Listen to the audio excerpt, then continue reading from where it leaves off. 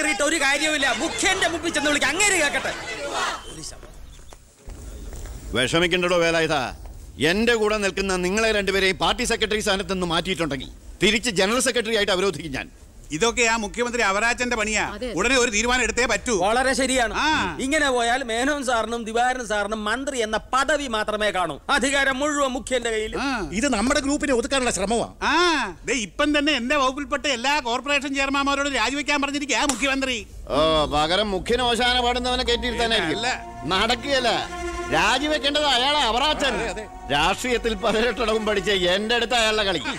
എത്ര എത്ര ഗ്രൂപ്പ് കളിച്ചും കുതികാൽ വെട്ടി യുവാ മേനോൻ സാർ ഈ നിലയിൽ എത്തിയത് അല്ല ഞാൻ ഉദ്ദേശിച്ചത് എന്നൊക്കെ മുഖ്യൻ പറഞ്ഞു വരുത്താൻ ഇടയുണ്ടെന്ന്. ഈ വിധത്തിൽ ഇന്നേ വരെ ഒരു പരീക്ഷ പോലും എഴുതാത്ത ഈ മേനോൻ സാറിന് എന്തൊക്കെ പരീക്ഷണങ്ങളാ നേരിടേണ്ടി വരുന്നു ഒന്ന് ആലോചിച്ച് നോക്കിയോ. അല്ല ഞാൻ ഉദ്ദേശിച്ചത് ഉദ്ദേശിച്ചു എനിക്കൊന്നേ പറയാനുള്ളൂ. മുഖ്യമന്ത്രി അവരാജൻ രാജിവെക്കണം. പകരം മേനോൻ സാറ് മുഖ്യമന്ത്രി ഞാൻ മുഖ്യമന്ത്രിയായതിന്റെ അന്നു മുതൽ കേൾക്കുക മുഖ്യമന്ത്രി രാജിവെക്കണം മുഖ്യമന്ത്രി രാജിവെക്കണമെന്ന്. അതെ തർക്കമെന്ത് മുഖ്യമന്ത്രി രാജിവെക്കണം. എനിക്ക് ഈ കൺവീനർ സ്ഥാനം മടുത്തു. അവനവന്റെ പാർട്ടി നയി മുറവിളി. പ്രതിപക്ഷത്തിന്റെ ഭാഗത്തു നിന്നല്ല. പ്രതിപക്ഷം കാര്യമുള്ള കാര്യത്തിനെ പറയൂ. ബഹുമാനപ്പെട്ട വിദ്യാഭ്യാസ മന്ത്രി ബാലഗംഗാധര മേനോൻ ഈ മന്ത്രിസഭയിൽ അംഗമാണോ അതോ പ്രതിപക്ഷത്തിന്റെ വ്യക്തമാണോ? ആ സംശയം എനിക്കുണ്ട്.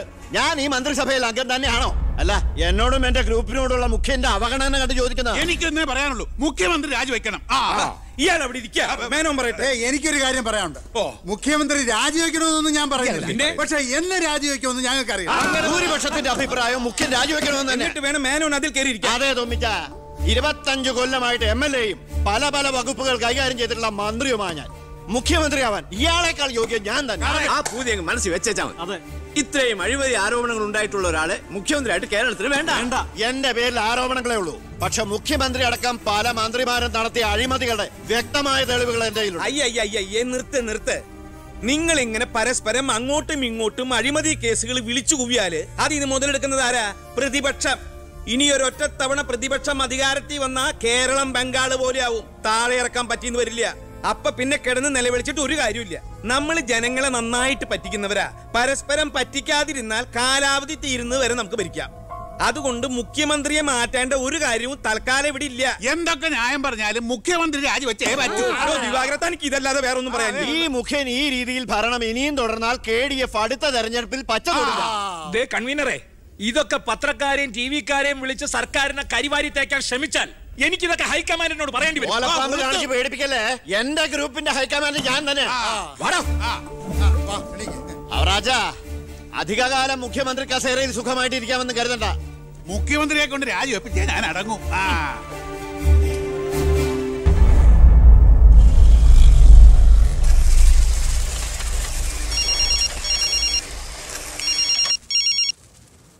ദാ, ഫൈനാൻസ് മരുമകൻ ഐ പി എസ്. ആ എന്താ നീ ഉടൻ ദിവാകരന്റെ ഗസ്റ്റ് ഹൗസിൽ എത്തണം. ഓ ഉടനെ എത്തിക്കോളാം. രഞ്ജി ഓ പണം എടുത്ത് ലോക്കറി വേ ശരി. അല്ല നിങ്ങൾ ബസ് ഓണേഴ്സും തൊഴിലാളിയും തമ്മിലൊരു ഒരു പരസ്പര വിട്ടുവീഴ്ചയ്ക്ക് തയ്യാറായില്ലെങ്കിൽ ഈ സമരം ഒത്തീർപ്പാക്കാൻ പറ്റുമെന്ന് എനിക്ക് തോന്നുന്നില്ല. എക്സ്ക്യൂസ് മീ ദാ, കളക്ടർ മരുമകൻ ഐ ഹലോ. ഞാൻ ഗസ്റ്റ് ഹൗസിലുണ്ടാവും ശരി സാർ നീ ആ, ഞാൻ വരാം. അപ്പൊ ഈ ചർച്ച തൽക്കാലം ഇവിടെ അവസാനിപ്പിക്കാം. നിങ്ങൾ പരസ്പരം ഒരു ധാരണയിൽ എത്തിയ ശേഷം എന്നെ അറിയിക്കൂ. ഓക്കെ മുഖ്യനെ മാറ്റാൻ എന്റെ കൂടെ നിൽക്കാമെന്ന് വാക്ക് തന്നതാ തമ്മൻ ചാക്കോ. താൻ ആരോണം ഉന്നയിച്ചാൽ മതി? ഞാൻ പിന്തുണച്ചോളാം എന്ന് പറഞ്ഞിട്ട് എന്നിട്ട് ഇപ്പം മീറ്റിംഗിൽ മുഖ്യന് വേണ്ടി വാദിച്ചിരിക്കുന്നു. അല്ലെങ്കിൽ അവരാജൻ ഒഴിഞ്ഞു പോയനെ. നായ നടന്നോണ്ട് ഒരു കാര്യവുമില്ല. നായ്ക്കിരിക്കാനോട്ട് നേരവുമില്ല. ഏ, എന്ന് മുഖ്യം പറയുന്ന ഞാൻ ഉദ്ദേശിച്ചത്. മേനോ സാറ് മുഖ്യമന്ത്രിയാകുമെന്ന് ഞാൻ വെറുതെ സ്വപ്നം കണ്ടു. എല്ലാം കൈവിട്ട് പോയില്ലേ? ഇല്ല ജോസ്പേട്ട. കൈവിട്ട് പോയി എന്ന് കരുതിയ പലതും നമ്മൾ വെട്ടിപ്പിടിച്ചെടുത്തിട്ടുണ്ട്. ജോസ്പേട്ടിന്റെ സ്വപ്നം ഫലിക്കും.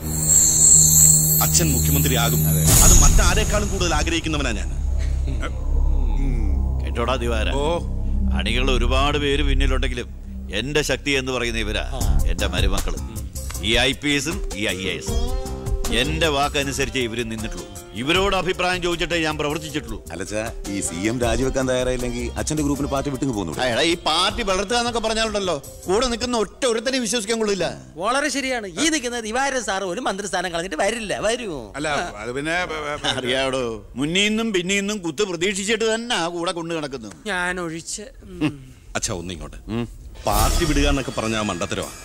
സി എം രാജിവെച്ചൊഴിയേണ്ട ഒരു സാഹചര്യം ഇവിടെ ഉണ്ടാക്കിയാൽ നിങ്ങൾ എന്തുണ്ടാക്കാനും എന്തുണ്ടാക്കിയാലും ശരി മുഖ്യമന്ത്രി രാജിവെക്കണം എനിക്കതേ പറയാനുള്ളൂ. നീ എന്താ ഉദ്ദേശിക്കുന്നത് സ്വാശ്രയ കോളേജുകൾക്കെതിരെ വിദ്യാർത്ഥികളുടെ സമരം നടക്കുകയാണല്ലോ. അതെ. മുൻപന്തിയിൽ നിൽക്കുന്നത് മുഖ്യനെ പിന്തുണയ്ക്കുന്ന കെ എസ് എ അത് വിദ്യാഭ്യാസ മന്ത്രിയായ അച്ഛനെതിരെയുള്ള മുഖ്യന്റെ കളിയാണ്. ആ ആ സമരം അത് അതെന്നെ അല്ലടാ ബാധിക്കുക. ഞാനൊന്ന് പറഞ്ഞോട്ടെ. സമരം ചെയ്യുന്ന വിദ്യാർത്ഥികളെ പോലീസുകാരെ കൊണ്ട് നമ്മൾ തല്ലി ചതയ്ക്കുന്നു ആഭ്യന്തരം കൈയടക്കി വെച്ചിരിക്കുന്ന മുഖ്യനെതിരെ വിദ്യാർത്ഥികൾ തിരിയും. കേരളമാകെ ആളിപ്പടരുന്ന വിദ്യാർത്ഥി സമരത്തിന് മുന്നിൽ മുഖ്യൻ മുട്ടുമടക്കും. സാറിന്റെ ബുദ്ധി കൊള്ളാം. പക്ഷെ മുഖ്യൻ പറയുന്നതല്ലേ പോലീസ് പിന്നെ? ഞാൻ പറഞ്ഞാ കേൾക്കുന്ന പോലീസുകാരും ഉണ്ട് ജോസഫേട്ട. എ എസ് പി അർഷൻ എനിക്ക് വളരെ വേണ്ടപ്പെട്ട ആളാ. ഞാൻ അച്ഛനോട് പറഞ്ഞിട്ടില്ല നമ്മുടെ മീനൂട്ടിക്ക് വേണ്ടി? ഓ. Hello sir how are you sir yes കാര്യം മനസ്സിലായി. പക്ഷേ എന്ത് പ്രകോപനം ഉണ്ടായാലും പോലീസ് സംയമനം പാലിക്കണമെന്നാണ് സി എമ്മിന്റെ ഓർഡർ എടോ പോലീസിന് നൊന്താ നിങ്ങൾ കൈയും കെട്ടി നോക്കി നിൽക്കുവോ? അത് പിന്നെ പ്രത്യേകിച്ച് പറയണോ? ആ എങ്കിൽ പോലീസിന് നോവും. പിന്നെന്താ ചെയ്യേണ്ടെന്ന് അറിയാമല്ലോ ഇതാണ് കുശാഗ്ര ബുദ്ധി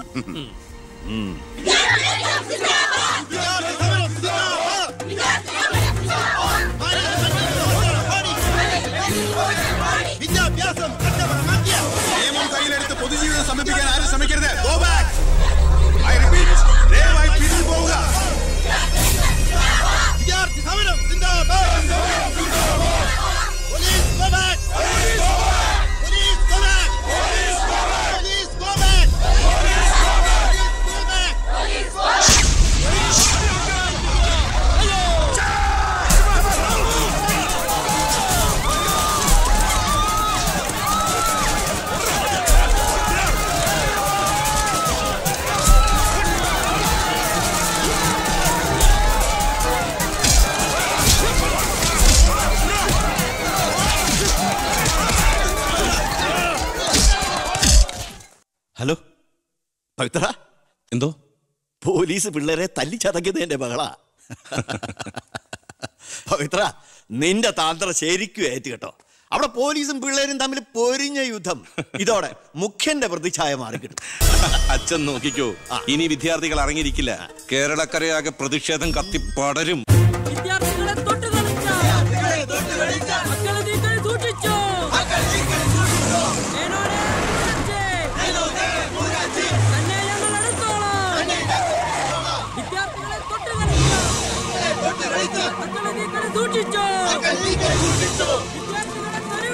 വിദ്യാർത്ഥികളെ തെരുവിലിറക്കി.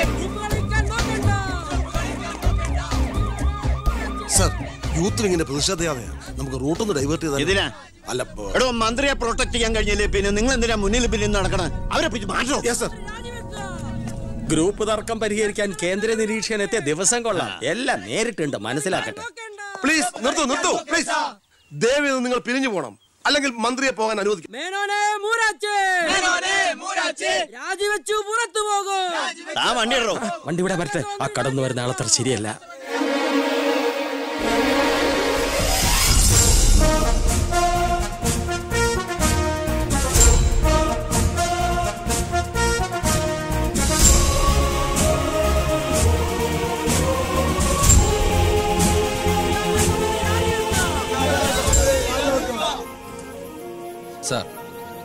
അഴിച്ചുവിടാൻ വന്നവരല്ല ഞങ്ങൾ.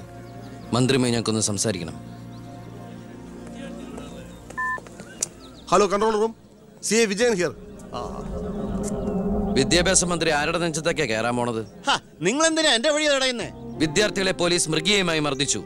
ബോംബെറിഞ്ഞതിന്റെ പേരിൽ നിരപരാധികളെ പിടിച്ച് അത്തിട്ടിരിക്കുന്നതിന് നിങ്ങൾ ഉത്തരം പറയണം. അതൊക്കെ പോലീസ് വകുപ്പ് കൈകാര്യം ചെയ്യുന്ന മുഖ്യമന്ത്രിയോട് ചോദിക്കണം. അയാൾക്കെതിരെ സമരം ചെയ്യണം. ഓ. അവനെയും കൊണ്ടുവാ. നിങ്ങളുടെ അധികാര മോഹങ്ങൾക്ക് വേണ്ടി പാവം വിദ്യാർത്ഥികളെ കരുവാക്കാൻ നോക്കണ്ട.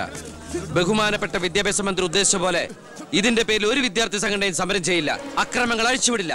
അവരെല്ലാം തിരിച്ചറിഞ്ഞു കഴിഞ്ഞു. വാടവിടെ? ഇവനാണ് പോലീസിന് നേരെ ബോംബെറിഞ്ഞവൻ third rate goonda Victor Samuel. മന്ത്രി പറയണം ഇവൻ ഏത് കോളേജിലാണ് പഠിക്കുന്നതെന്ന്? ചക്കിന് വെച്ചത് കൊക്കിന് കൊണ്ടു. സമാധാനപരമായി സമരം നടത്തിയവരുടെ ഇടയിൽ നുഴഞ്ഞു കയറി ബോംബെറിഞ്ഞ് എന്തിനാണെന്ന് ഇവൻ പറയും. ആര് പറഞ്ഞിട്ടാന്ന് ഇവൻ പറയും? കത്തിക്കട കോലം. പെർഫെക്റ്റ് കോലം. വിദ്യാഭ്യാസ മന്ത്രി രാജിവെക്കുക. വിദ്യാഭ്യാസ മന്ത്രി രാജിവെക്കുക.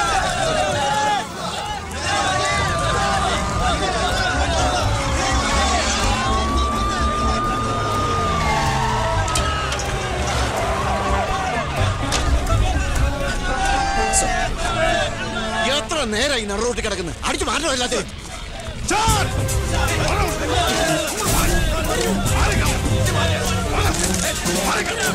മോമിത്ര വയലിനായിട്ട് താനും തൂക്കിക്കോളോ. സാർ വെറുതെ ഒരു ഇഷ്യൂ ഉണ്ടാക്കണം. മന്ത്രിയുടെ കോലം കത്തോണ്ട് രസിക്കുക. അടിച്ച് ഓടിക്കൊല്ലാതെ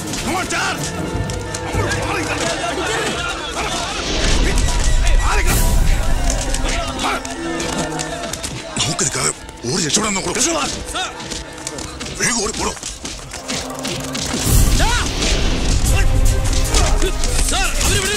അവനെ ബോംബ്